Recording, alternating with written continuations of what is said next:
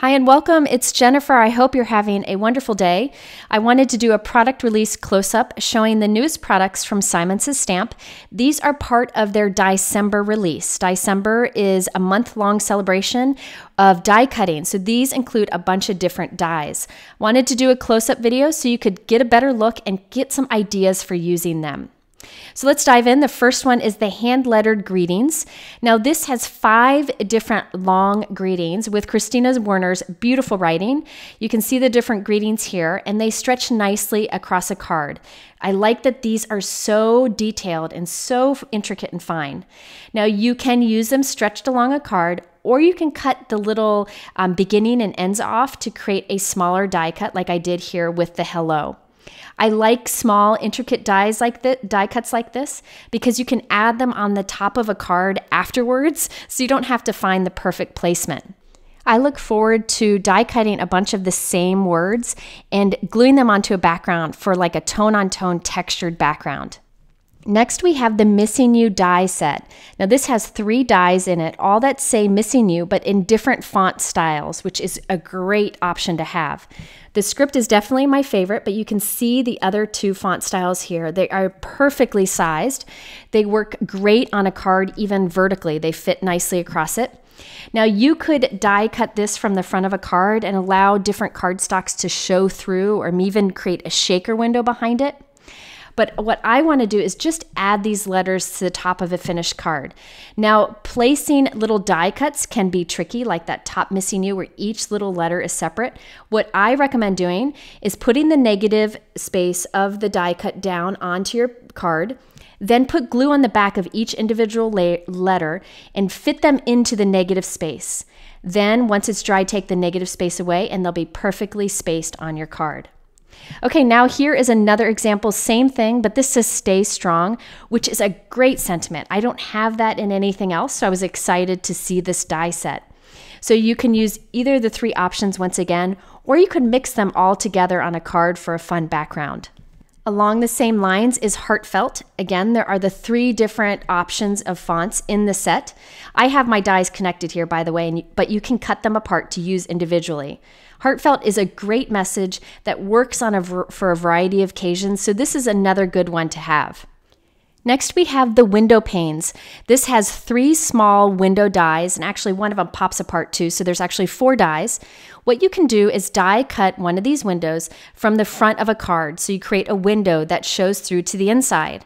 Then you can stamp something on the inside of your card that you can see from the outside, so it kind of shows through the window, maybe a cute little critter or something a little more classic behind it.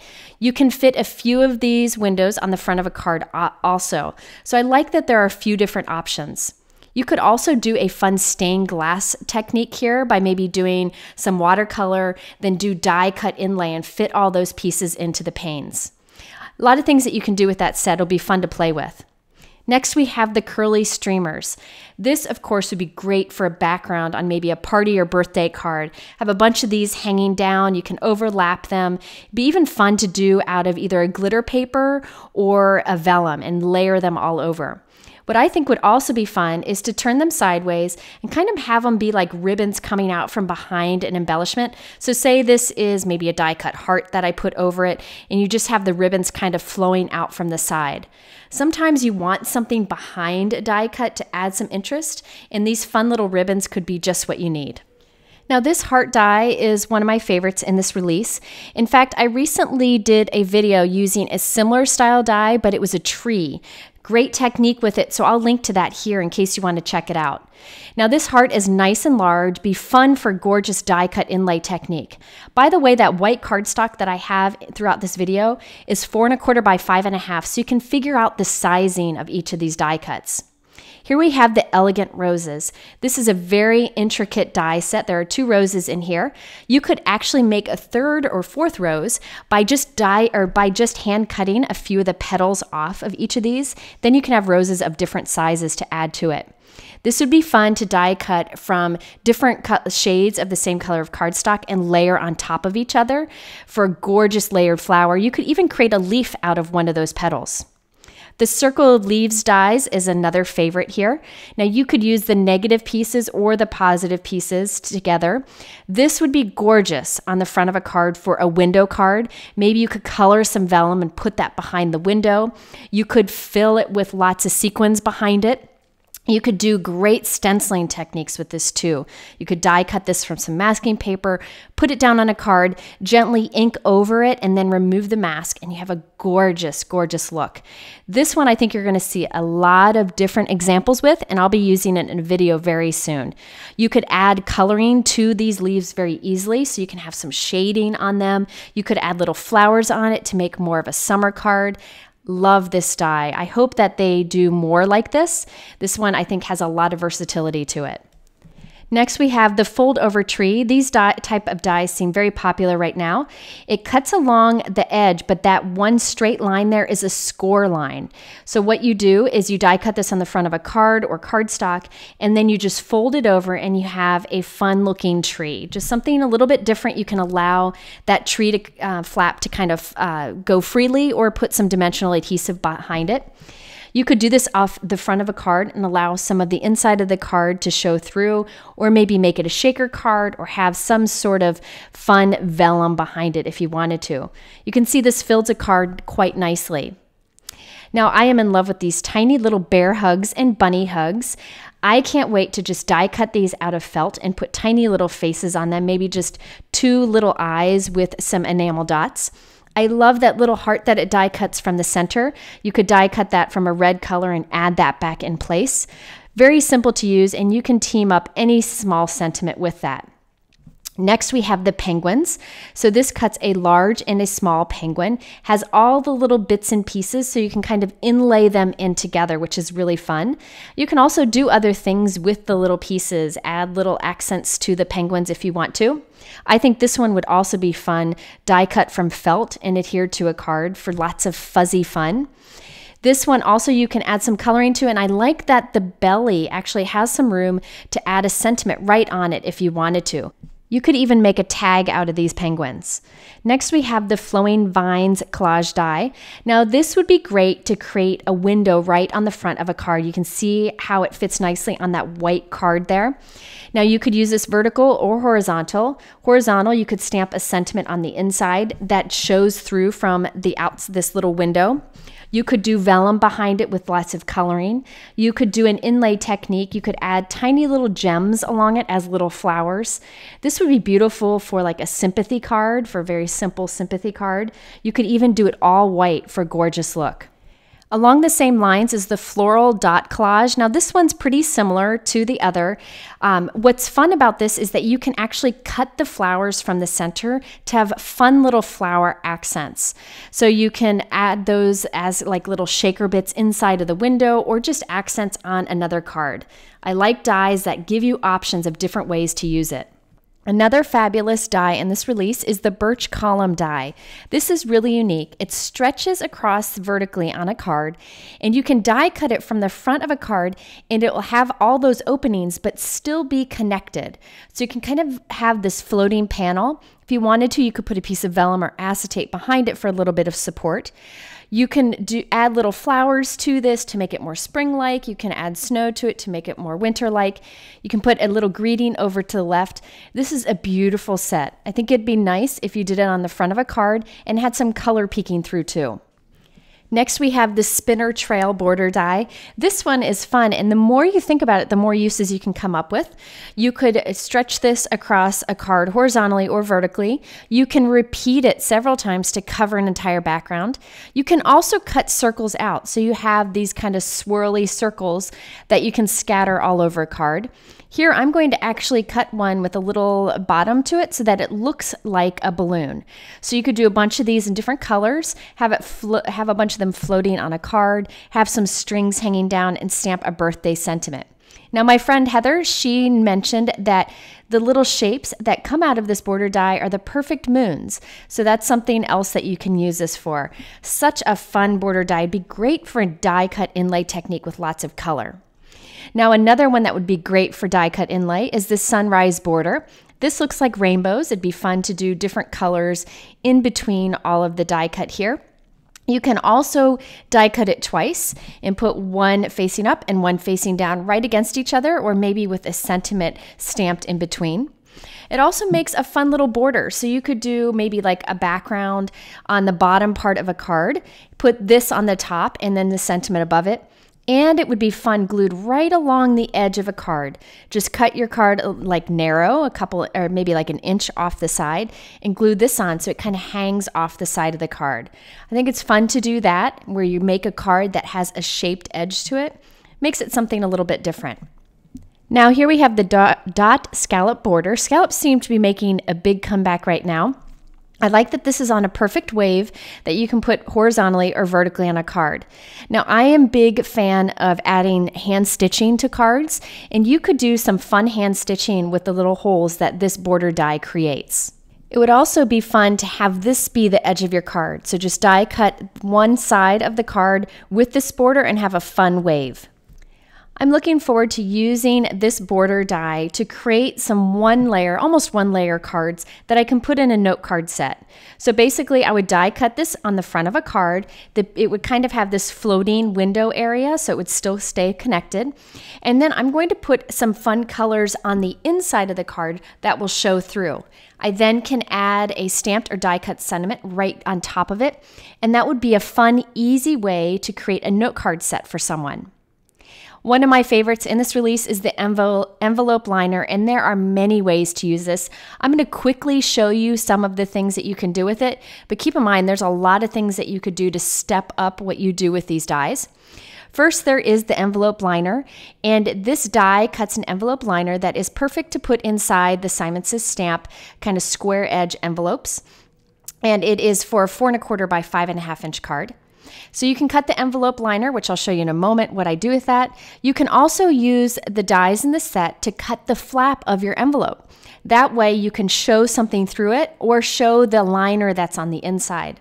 But these are sized perfectly to fit nicely along the flap of an envelope. So here is the envelope liner. I'm going to show you how to put that into a regular card. So easy to do. It has a little slit so it allows your envelope flap to close nicely. There are other ways you can use this also.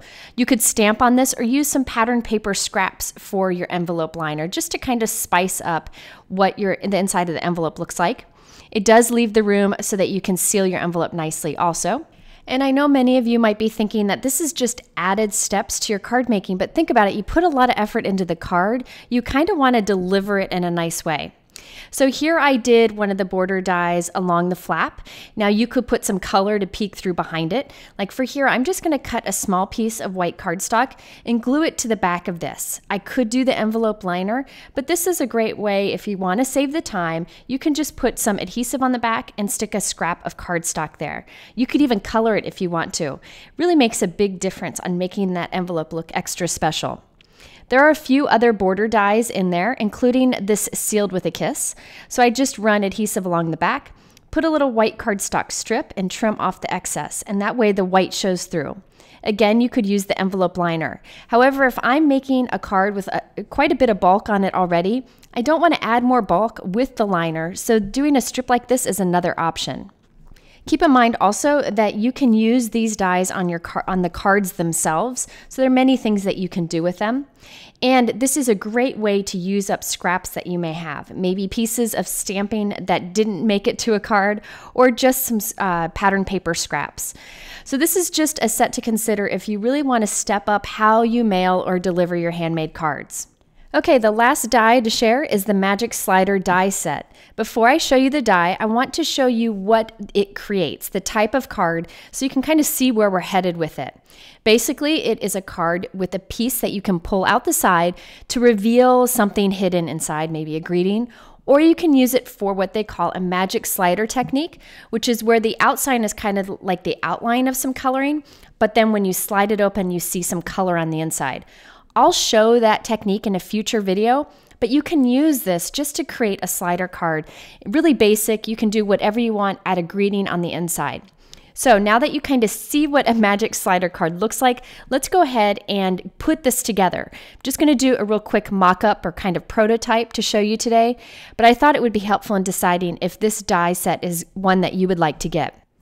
Okay, so I'm going to use all the dies in the Magic Slider die set except the rectangle. And I'm just going to cut this from whatever cardstock I want. I decided to use white today. Now the rectangle die, that one you're gonna cut use to create a window. So I have a four and a quarter by five and a half inch piece of white cardstock because that's the size note card I want. And I'm going to position the rectangle kind of to the bottom right. This seems to work really well with this particular magic slider die set. So I'm going to run that through my die cut machine. And again, we're using the negative space where we have a window. I also have another piece of white cardstock cut to four and a quarter by five and a half, same as the window piece. Now I'm going to end up gluing these together eventually, but not yet. I'm first going to lightly trace onto the solid piece the rectangle window so I know where to place my slider. Now this is the slider piece and I need to put a stopper on it so that when I pull the slider, I don't actually pull the piece out of the card. I want it to stop before it comes out. So that's the little stopper piece that'll be on the end of the slider. People won't see that. Next, I'm placing my little slider piece right over that pencil window that I drew, making sure that it's hanging out a little bit to the right of the card. See how the little handle's hanging out to the right? Now I'm going to draw a line along the stopper over there. So I need to put another piece there so that they hit up against each other and we don't lose our slider piece inside the card. So I'm going to glue one of the other die cut stopper pieces, which is part of the die set, right along that pencil line. So now when you push this piece back into the card, these two stopper pieces hit each other and you don't lose the slider inside the card. Next, we need some tracks that go above and below our little slider piece so that we can easily slide it in and out of the card and it stays nice and straight. So I'm going to place my slider piece with the two stoppers up against each other, and I'm going to glue one of the track pieces, again, these are in the die cut set, one up against the bottom and then one up against the top of those little stopper pieces. So you'll see there's a little gap there below the slider piece itself, but these are going right up against the top and the bottom of those stopper pieces. Now keep in mind, you can arrange this little slider window to be anywhere on a card. I plan to make this one vertical so that you pull the slider out the bottom of the card and it reveals a little critter hidden inside. But you can use it in many ways. So here is the other track I'm going to put up against the other side of the stoppers. Now you can see there's this little area where I can pull this slider out to the right so that I can reveal what's inside once we put the card together. Now, when you put the card together, you want your slider piece to be upside down so the stopper is on the back so that people don't see the stopper when they pull the tab. So make sure that you flip that over and then you can glue the other piece on top. Let me show you where I put the adhesive so that I can be sure that the slider moves freely and so that the slider doesn't pull out of the card. So I'm putting my slider right into this spot where it will fit and I have some strong double-sided tape. The first pieces I'm going to put down will go over the track right up against to the, the edge of that slider piece. So this adhesive will be my stopper to keep the slider piece from coming out of the card completely. So now I'm going to put another one right up against the edge of the slider so that there's just enough room between those two pieces of double-sided tape that the thin slider piece will fit. Now the rest of my adhesive will go on the outside edges, all three of the other outside edges, so that we can seal this closed. Then we will put some of this adhesive right along the tracks on the side and that outside stopper piece. So we just want to make sure that nobody tries to open this card and that our slider moves freely.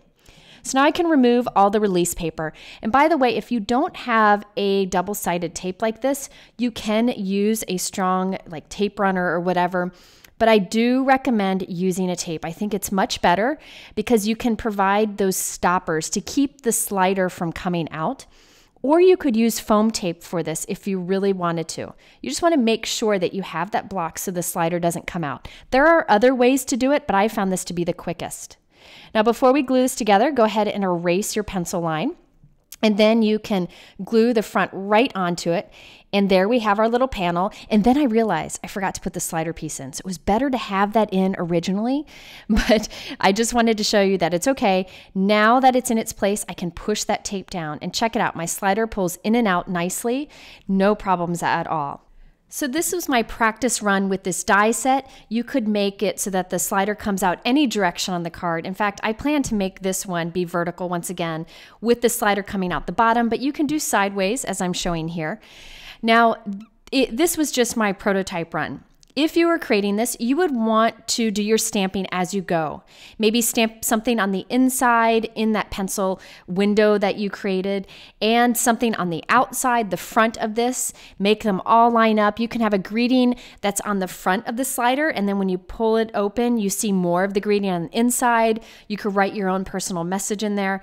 A lot of different things that you can do with this slider feature. Now, this is just a panel. If you want to, you can glue it to the front of a card. And if you want it to fit in your envelope, you'll want to trim a little bit off the left side of the card so that it fits with that little, um, the little tab sticking out. So I just wanted to show you how this is assembled. I'll be sure to do some videos in the future showing different techniques that you can do with it, but it's one of those that you can get a lot of fun looking cards with. So there you have a closer look at the Simon Says Stamp release. I hope it's helpful in seeing all the products up close. All the products are linked below in my YouTube description and over on my blog. And in the middle are two other videos. These are about die cutting that might inspire you with the, the dies I showed you today. Thanks for watching. We'll see you soon and have a wonderful day.